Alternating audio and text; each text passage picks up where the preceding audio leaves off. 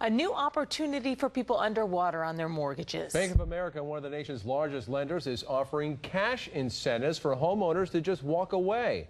NBC2's Elizabeth Billings reports on this limited time Cash for Keys deal.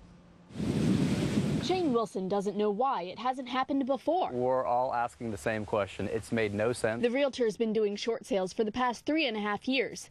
Now, Bank of America is getting on board. I think they're coming to the conclusion that to foreclose, they're losing money. Bank of America is now offering an incentive for distressed Florida homeowners to do a short sale. The concept is simple cash for keys. Bank of America is offering up to $20,000 to avoid the foreclosure process. They're getting it now.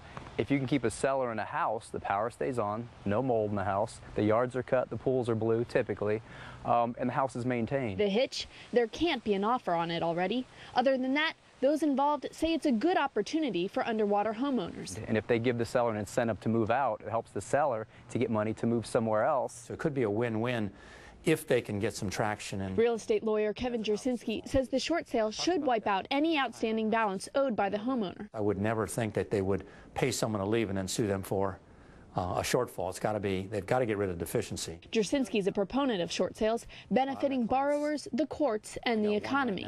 He hopes Bank of America makes good on the offer. I think Bank of America has its own problems. I think they need to dispose of some of their collateral. So I think it could be good public relations. I, I think that's a benefit, but I think there's a, uh, a rational basis for what they're doing.